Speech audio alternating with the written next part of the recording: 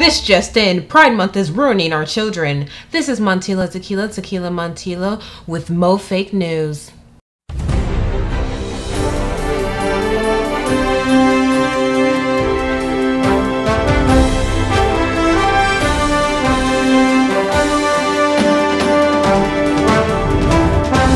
The internet is outraged after a picture of a man kissing a little boy went viral, claiming that children need pride too.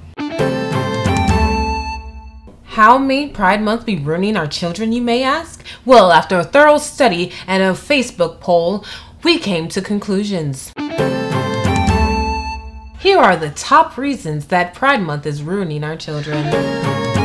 It's exposing them to sexuality. It's turning them gay.